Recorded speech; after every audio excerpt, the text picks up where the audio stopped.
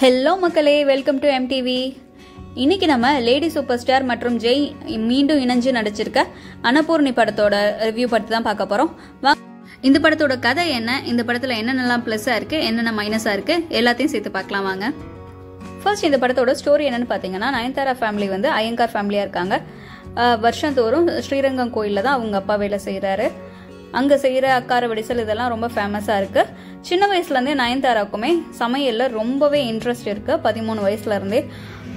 இவங்களுக்கு வந்து சின்ன வயசுலேருந்தே டேஸ்ட் எல்லாம் பர்ஃபெக்டாக கண்டுபிடிக்கிற மாதிரி ஒரு திறமை இருக்குது அது அப்பையிலேருந்தே பிடிச்சி இவங்க செஃப் ஆகணும் அப்படின்னு தான் நினச்சி வளர இவங்க செஃப் ஆகணும் அப்படின்னு சொல்லிட்டு உங்க அப்பா கிட்ட போய் சொல்லும்போது அவர் அலோவ் பண்ணலை. ஸ்ரீரங்கம் கோயிலுக்கு நம்ம ஆஹ், சேவகம் பண்ற குடும்பம். நம்ம வந்துட்டு மாமிசத்தை தொடலாமா? நீ மாமிசத்தை சாப்பிட்ற மாதிரியும் இருக்கும். அதனால அலோவ் பண்ண மாட்டேன்றாரு. அதனால இவங்க என்ன பண்றாங்க? எம்பிஏ படிக்கிறேன்னு போய் சொல்லிட்டு கேட்ரிங் படிக்கிறாங்க. அந்த ஃபர்ஸ்ட் ஹாஃப் ஃபுல்லாகவே பார்த்தீங்கன்னா ஜெய் உங்க கூடவே டிராவல் ஆவார். அவர் தான் அந்த படத்தோட ஹீரோ ஆனால் இவங்க வந்துட்டு அங்கே போயிட்டு சிக்கனை தொடுறதுக்கு இது எல்லாத்துக்குமே அருவருப்பப்பட்டுட்டு இருக்காங்க அந்த டைம் ஃபுல்லாகவே வந்துட்டு ஜெய் நிறையா மோட்டிவேஷன் பண்ணுறாரு இவங்கள. அதுக்கப்புறம் இவங்க எல்லாமே நல்லா சமைக்க ஆரம்பிக்கிறாங்க. ஒரு நாள் இவங்க அப்பாவுக்கு அந்த இவங்க வந்துட்டு எம்பிஏ படிக்கல. இவங்க கேட்ரிங் தான் போயிட்டு இருக்காங்கன்னு தெரிஞ்சோடனே அந்த படிப்பை ஸ்டாப் பண்ணிட்டு மேரேஜ் பண்ணி வைக்கலாம் அப்படின்னு நினைக்கிறாரு. அந்த மேரேஜ்லேருந்து இவங்க வந்துட்டு எஸ்கேப் ஆகிடுறாங்க. அது வந்து ஒரு பார்ட்டி ரோல் வந்துட்டு ஒருத்தவங்க பண்ணியிருப்பாங்க. அவங்க ரோல் சூப்பராக இருக்கும். ஸோ அவங்க தான் இவங்களை எஸ்கேப் ஆகிறதுக்கு ஹெல்ப் பண்ணுறாங்க அதுக்கப்புறம் இவங்க சென்னைக்கு வர்றாங்க. சென்னையில் வந்துட்டு காலேஜ் ட்ராப் அவுட் ஆகிட்டு இங்கே சென்னைக்கு வர்றாங்க. இங்கே ஒரு ஹோட்டலில் வந்துட்டு வேலை தேடி தெரிஞ்சிட்டு இருக்கும்போது அந்த ஹோட்டலில் உள்ளவர் அலோவ் பண்ண மாட்டேன்றாரு. அதுக்கப்புறம் இவங்க சின்ன வயசுலேருந்து பார்த்து ரோல் மாடலாக எடுத்துக்கினவர் யாருன்னு பார்த்தீங்கன்னா சத்யராஜ் சார். அவர் தான் வந்து ஒரு பெஸ்ட் செஃப்பாக இருந்தார் முன்னாடி. ஸோ அவரை மாதிரி ஆகணும்னு தான் இவங்க சின்ன வயசுலேருந்தே கனவு கண்டுட்டு வந்திருக்காங்க. இங்கே அவரை பார்த்துட்றாங்க அதுக்கு ஸோ இங்கே வந்துட்டு சென்னையில் அவங்களுக்கு ஒரு வில்லன் இருக்காரு. அவர் கூடவே இவங்க கூடவே ஒரு ரோல் மாடலான சத்யராஜ் சார் இருக்காரு. இதையெல்லாம் தாண்டி இவங்க வந்துட்டு பெஸ்ட் செஃப் ஆகணும் அப்படிங்கிறது தான் இவங்களோட ஆசை. ஸோ ஃபர்ஸ்ட் ஹாஃப்லேயே பார்த்தீங்கன்னா இவங்க வந்து ஒரு ஆக்சிடென்ட்னால விட்டு ஹாஸ்பிட்டல் அட்மிட் ஆயிடுறாங்க.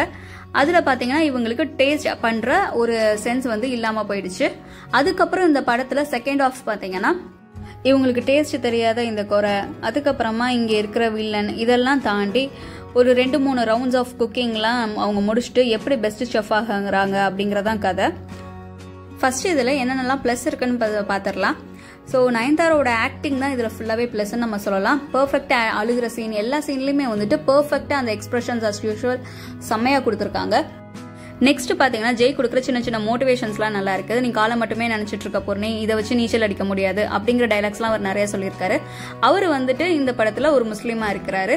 ஸோ இவங்க இந்த பிரியாணி இந்த மாதிரி ஒரு விஷயம் டிஷ்ஷஸ்லாம் செய்யும்போது அவங்க அம்மா கிட்ட வந்து கற்றுக்கிட்டு செய்கிறாங்க அவர் இவங்கள மாதிரியே பிராமின்ல என்னெல்லாம் பண்ணுவாங்களோ அவர் இதை கற்றுக்கிட்டு வச்சிருக்காரு. ஸோ இவங்க ரெண்டு பேருக்குள்ள இருக்க அண்டர்ஸ்டாண்டிங் நல்லா இருந்தது. நெக்ஸ்ட் இந்த படத்துல இருக்க கொஞ்சம் லேக் ஆகுற மாதிரி மைனஸ்லாம் என்னன்னு பார்க்கலாம். இதுல நிறைய கேரக்டர்ஸ் இருக்காங்க. ஆனா கேரக்டர்ஸ் எல்லாமே வந்து ஒரு ஸ்ட்ராங்கா இல்ல. ஹீரோயினோட அப்பா கேரக்டர் இன்னுமே கொஞ்சம் ஸ்ட்ராங்கா கொடுத்துருக்கலாம். அதுக்கப்புறம் கிங்ஸ்ல இவர்லாம் வர்றாரு. ஆனா அந்த லெவலுக்கு காமெடி எதுவும் வரல. அதுக்கப்புறம் கதையை இன்னும் கொஞ்சமே டெப்த்தாக காமிச்சிருக்கலாம். குக்கிங்கில் என்னென்ன வெரைட்டிஸ்லாம் அவங்க பண் ட்ரை பண்ணுறாங்க அப்படிங்கிற மாதிரி இன்னும் கொஞ்சம் அதில் என்னென்னலாம் யூனிக்னஸ் இருக்குது அப்படிங்கிறத காமிச்சிருந்தா இன்னும் கொஞ்சம் பெட்டராக இருந்திருக்கும். கதையே குக்கிங் அப்படிங்கிறதுனால. அண்ட் வந்துட்டு நடுவில் நடுவில் வந்து ஒரு சின்ன சின்ன அனிமேஷன்ஸ் காமிக்கிறாங்க. சின்ன வயசுலேருந்து நயன்தாரா எப்படி அதுக்கு அந்த செஃப் ஆகணுங்கிற கனவு அடை அடையிறதுக்காண்டி கனவு கண்டிருக்காங்க அப்படிங்கிறத அனிமேஷன்ஸ் காமிக்கிறாங்க. அந்த அனிமேஷன்ஸ் வந்து கொஞ்சம் வந்து ஃபோர்ஸ் பண்ணி காமிக்கிற மாதிரி தான் இருக்குது ஸோ அவ்வளோதான் மக்களே ஓவராலாக இந்த படம் பார்க்கலாமா வேணாமா அப்படின்னு கேட்டிங்கன்னா தாராளமாக பார்க்கலாம். நீங்கள் ஃபேமிலியோடு போனீங்கன்னா சூப்பர் என்டர்டைன்மெண்ட்டாக இருக்கும். அண்ட் நீங்கள் இந்த ஆக்ஷன்ஸ் இந்த மாதிரிலாம் எதிர்பார்த்தீங்கன்னா அதெல்லாம் இந்த படத்தில் இருக்காது. நல்ல ஸ்மூத்தாக காமாக போயிட்டுருக்கும் படம். எனக்கு பார்த்தீங்கன்னா ஃபர்ஸ்ட் ஹாஃபே ரொம்ப பிடிச்சிருந்தது செகண்ட் ஹாஃபை விட. செகண்ட் ஹாஃப் வந்து நம்ம கொஞ்சம் குக் வித் கோமாலியோட அந்த ரவுண்ட்ஸ் எல்லாம் கொஞ்சம் மிக்ஸ் ஆகிற மாதிரி தான் இருந்தது. இந்த ரிவ்யூலாம் தாண்டி எனக்கு பர்சனலி இந்த படம் பிடிச்சிருந்தது. ஸோ நீங்களும் போயிருந்தீங்கன்னா படம் எப்படி இருந்தது அப்படிங்கிறத கீழே கமெண்ட் பண்ணுங்க. மினிடூர் விளாக்ஸ் சேனலை சப்ஸ்கிரைப் பண்ண மறந்துடாதீங்க நம்ம travel vlogs and cooking vlogs போட்டுட்ருக்கோம் அதெல்லாம் பார்க்கணுன்னா நம்ம சேனல் பிளேலிஸ்ட்டில் போய் கிளிக் பண்ணி பாருங்க. Tata bye by